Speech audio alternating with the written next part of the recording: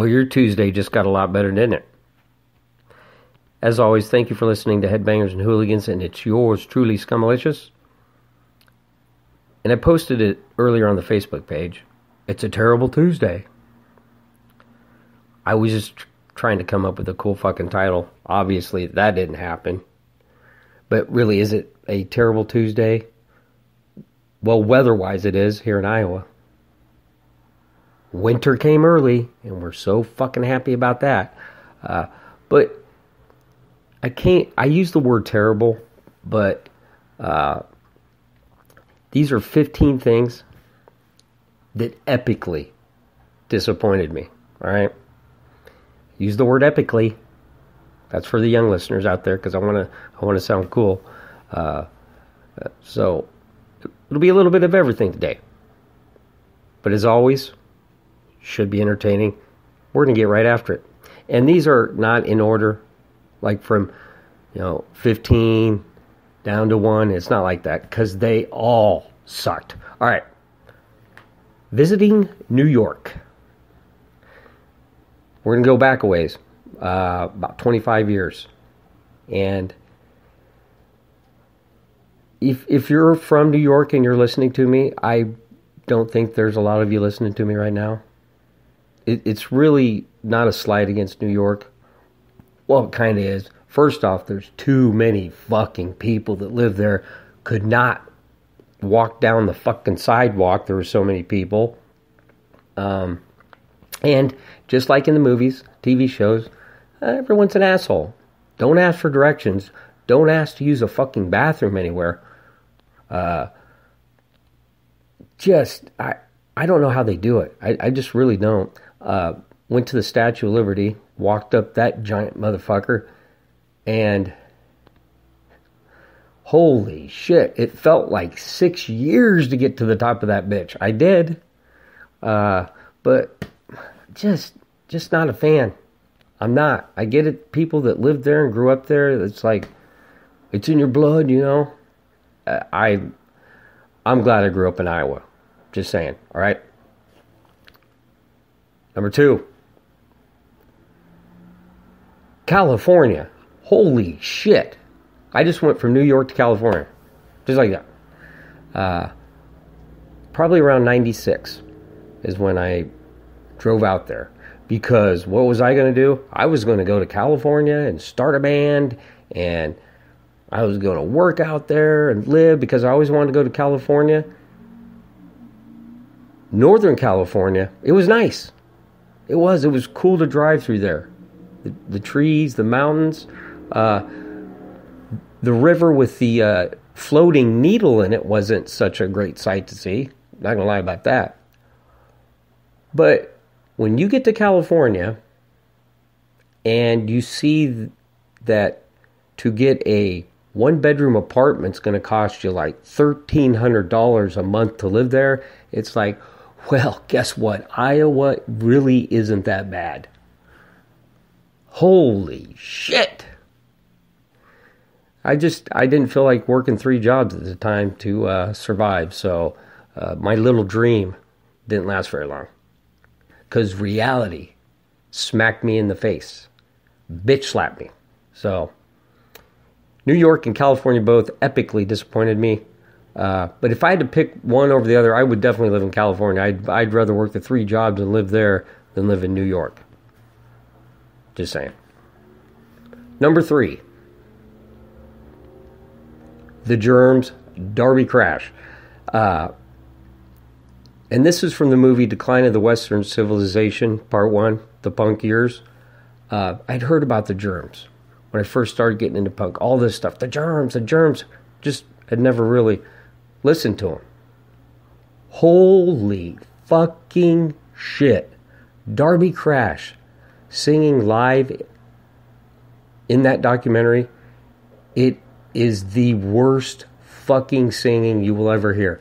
GG Allin is a better singer than Darby Crash.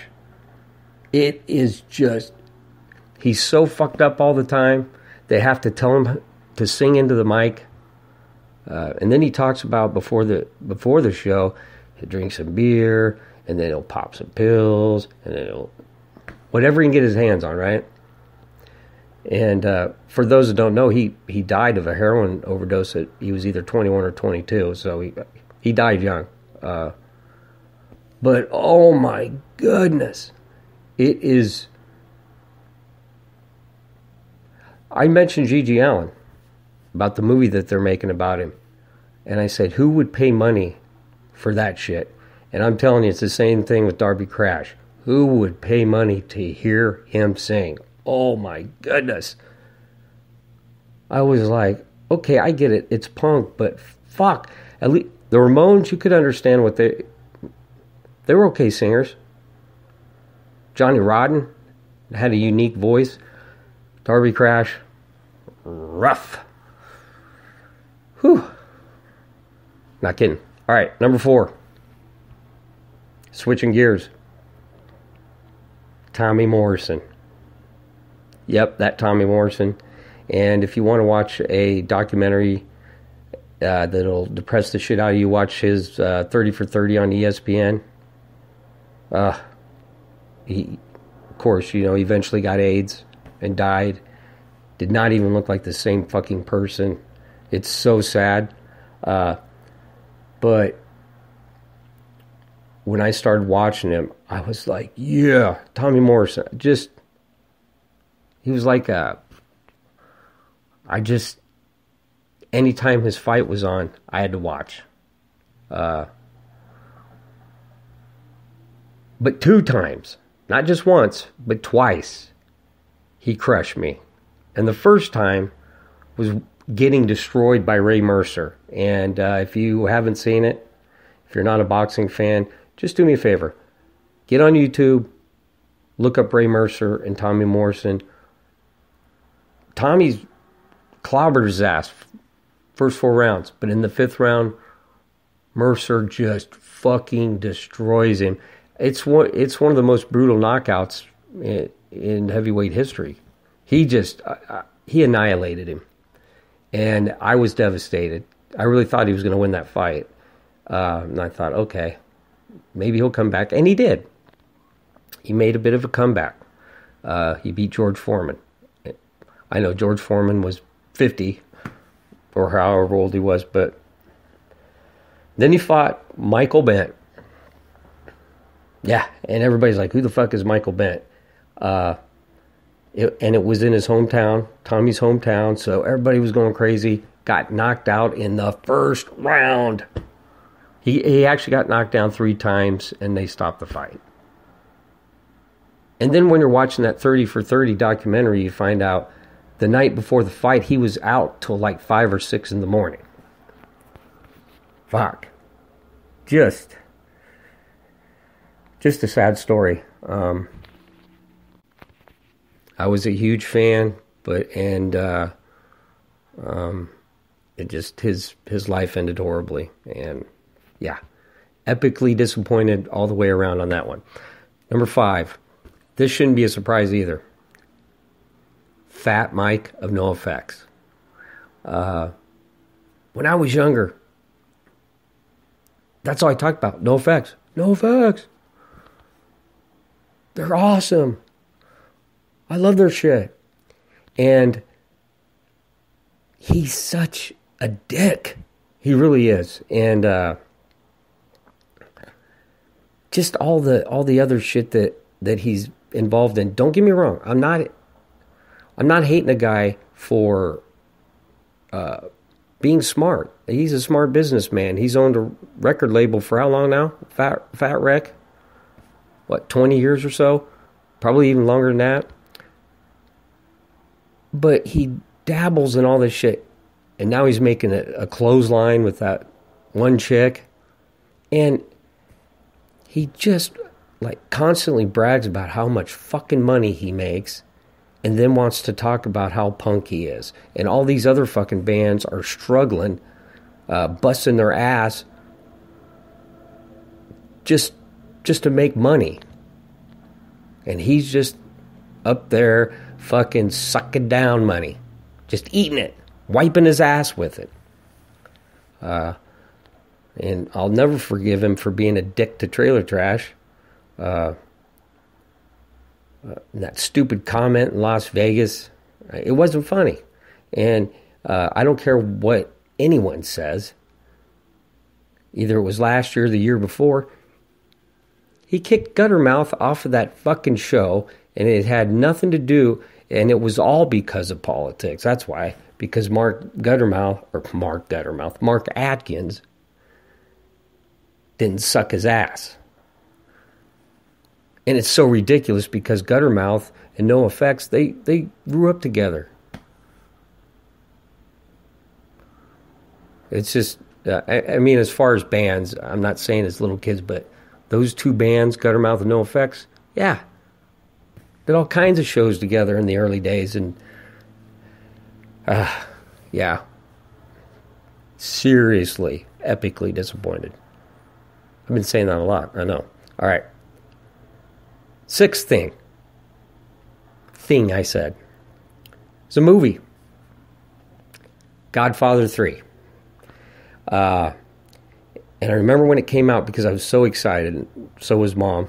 Mom was a big fan of Godfather 1 and 2, just like me. Uh, wow. Just really not a very good movie. Uh, good actors, just a bad script. Um, Andy Garcia, I like Andy Garcia. That was uh, Al Pacino's son. But that chick, uh, so Sofia Coppola, Francis Ford's daughter, should have never been in that movie. Horrible performance. Uh, it wasn't a great movie to begin with, but she just made it worse. I, I'm like, why is this woman in this movie? She can't act. She she couldn't even make it in a Lifetime movie. Not ripping on it. I love Lifetime Movie Network. Everybody knows that. But she was awful.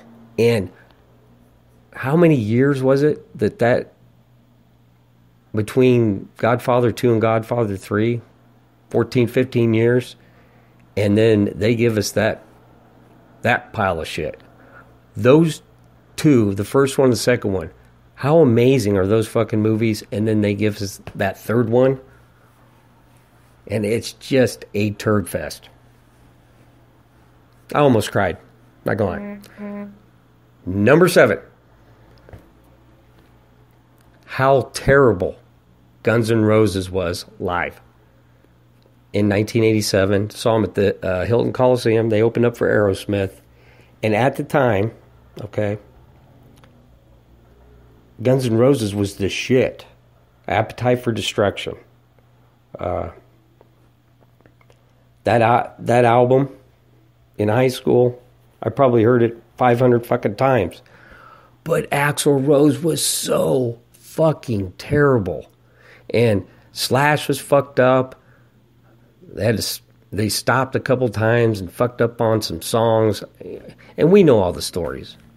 Uh, but I was really pumped to see them at the time, and I got there, and they started playing, and it was like, wow, these guys aren't very good. They've sold millions and millions of this one album, and they suck. They did. Number eight. Uh, this this hurts me to even mention this. It really does. Ten foot pole, the new ten foot pole album that came just came out this year, escalating quickly. I I seen some comments on YouTube. I'm not going to trash this band, just for the simple fact that they've been around forever. Scott Radinsky sang with them. They're pretty cool guys. Uh, they've been getting after it for years, and all these other bands making money, they're not. But well, just the the music isn't that good. Uh, they have keyboards, and I I don't have a problem with keyboards, but the, it's the way they use them. Just makes some of the songs sound so fucking cheesy. Uh, the first song ain't bad. It's it's decent, I guess. But there's no songs that just you're like, wow, I gotta fucking hear that again. And uh, I was so excited when I heard they were recording a new album, and then I seen it. Oh, it was on YouTube. I was like, yes, I, I can listen to it, and then I'll I'll buy it. I didn't buy it, and I feel horrible f- for saying that. I love this band, but that is a bad album. Just my opinion, and I was really surprised that I hated it, to be quite honest. Number nine, ninth time, I was epically disappointed. Back to Hollywood. Planet of the Apes, 2001. Uh, I loved the original Planet of the Apes. Yes, that one with Charlton Heston. Get your hands off me, you damn dirty ape. But uh, I loved it. I, I even loved the second one. Third one wasn't bad. The, the next two were kind of cheesy, but I loved the Planet of the Apes movies. And I was married at the time, and me and my wife went to the movie theater to, to see it. Whoa. I was like, are you fucking kidding me? I'm not going to rip on Mark Wahlberg. It's not his fault. He didn't write the script. And I can't, is it Tim Roth, the guy that played the asshole chimpanzee? What was that?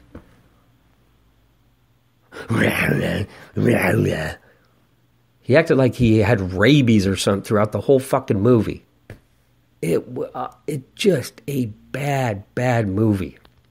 And in the original, Charlton Heston is riding on the horse. I, am sure everyone remembers, and you see the Statue of Liberty in the sand, which means we got we had a war and destroyed everything, and then the apes took over. Well, in this one, Mark Wahlberg gets to the uh, wherever he's going. I can't remember city.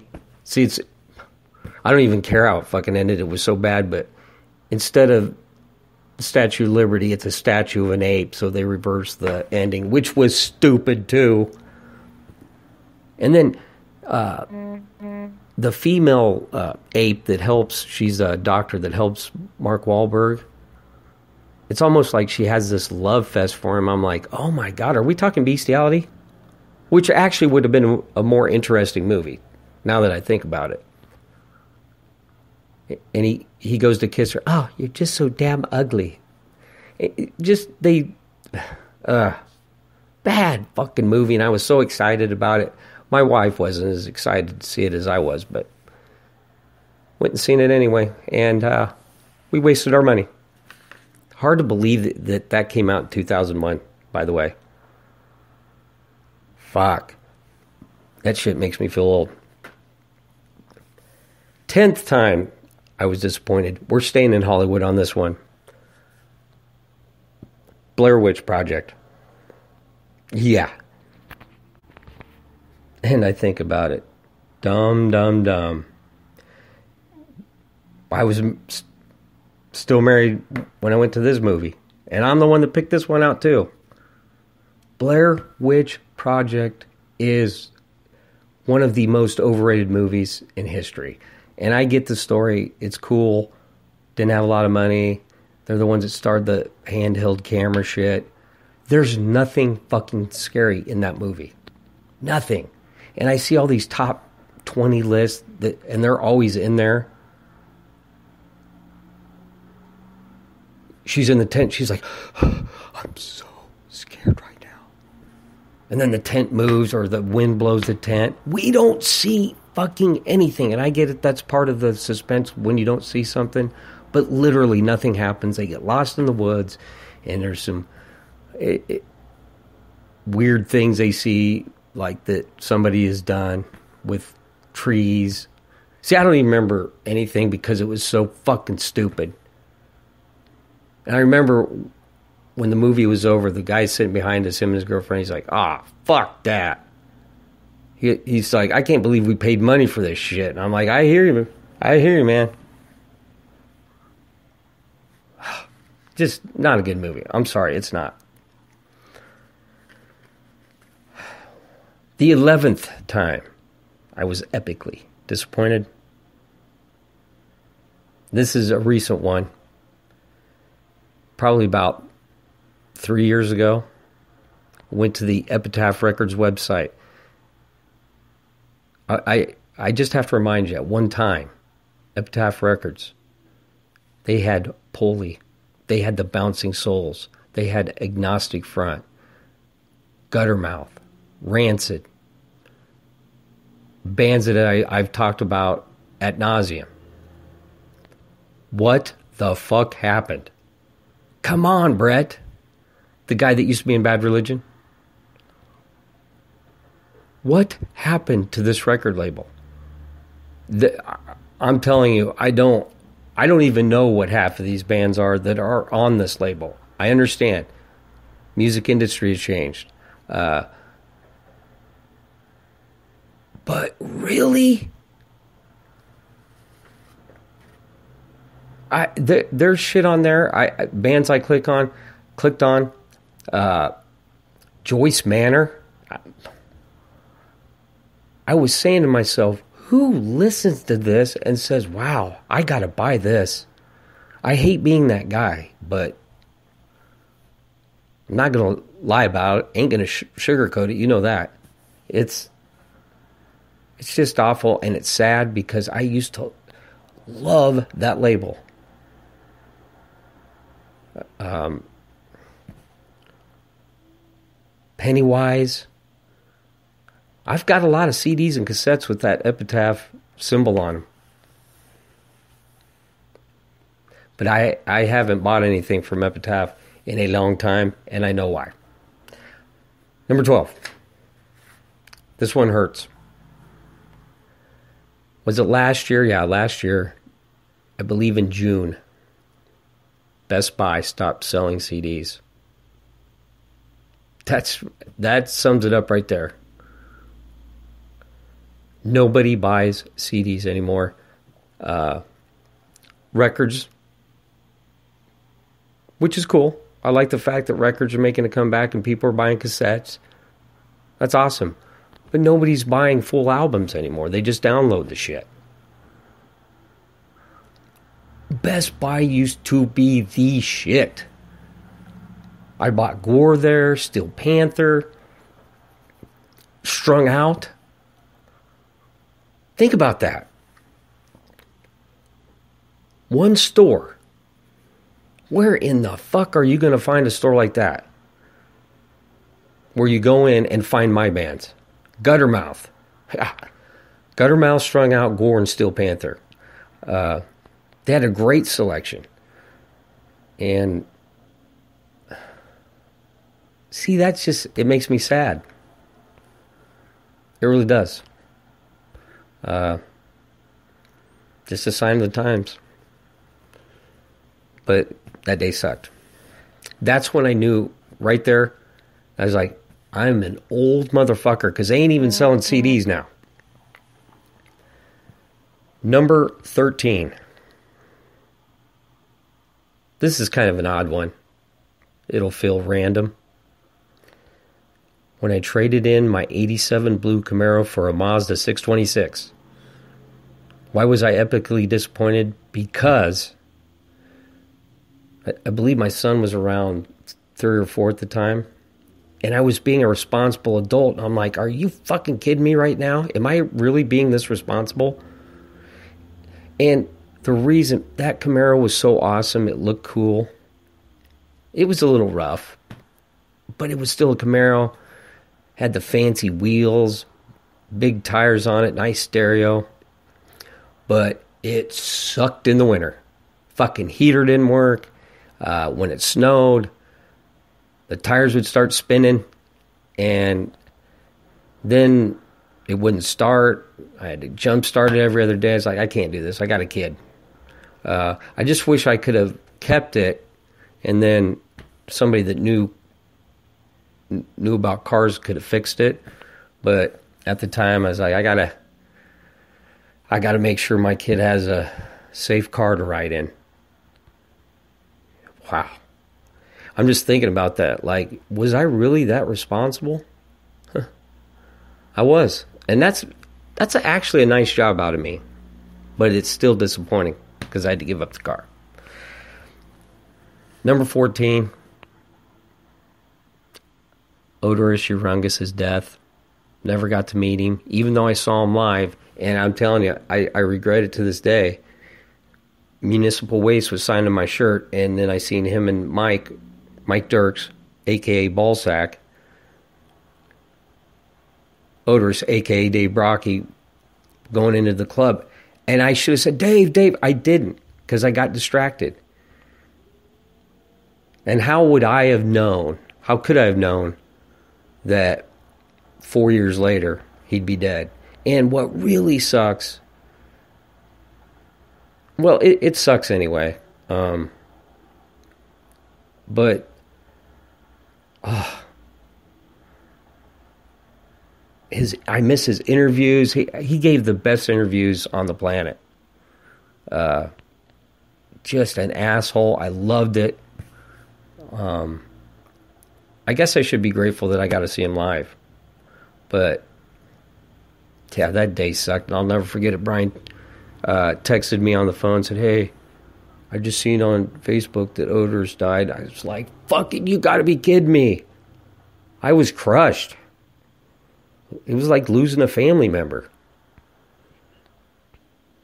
But yeah, not a good day. And the 15th time, not the final time, because I'll, I'll be disappointed more, epically disappointed. Going back in time on this one. And this, I'm telling you, this crushed me at the time. Just like Planet of the Apes, King Kong, and I'm talking about the 1976 King Kong. Uh, and we know, okay, King Kong at the end, he goes, climbs the uh, the tower, and they shoot him off there. But I was five when I went to that movie, and I remember this because mom took me. Rest in peace. Thank you, mom. But I was obsessed with King Kong. I remember I had the T-shirt had the glasses. It was like King Kong, that's my dude. That's my boy, right? I didn't know that he fucking died in that movie. I bawled. I remember mom's like, it's just a movie. I was so fucking mad. But it still pisses me off to this day, right? Because what was her name? Jessica Lange? What happened? He fell in love with the bitch, right? It's always a woman. But he didn't ask to come over here. Remember, they went to the island and they brought him off the island. They bring him to New York City, of course, where all the fucking maniacs are, and he gets gets all worked up over this chick. He's like, "What? What do I do?" Well, I'll climb the tallest building and get shot down by a bunch of fucking assholes in planes. Fuck it. I, I'm serious. That that really it still pisses me off. King Kong didn't ask for that shit. Ah. I remember too where he, like he fucks up that giant snake or lizard or whatever it is. I was like, oh, I was so amped up. I remember it. And then that ending. I, Mom, I remember. It's a son. It's just a movie. Oh, I was pissed. It took me a long time before I could watch that movie again. Like six or seven years. But even the new one, what was the, the newest one that came out? Not Skull Island, the one before that with Jack Black. I, that was that was tough to watch too. Don't bring him over here. He doesn't want to be over here. Fucking leave King Kong alone. I'm serious. There you have it. 15 times. And I got to say it one more time that I was epically disappointed. Uh, real quick, too, I posted it on the Facebook page. Uh, I'm available on iTunes now, uh, Podcast Addict, and soon I'll be available on iHeartRadio.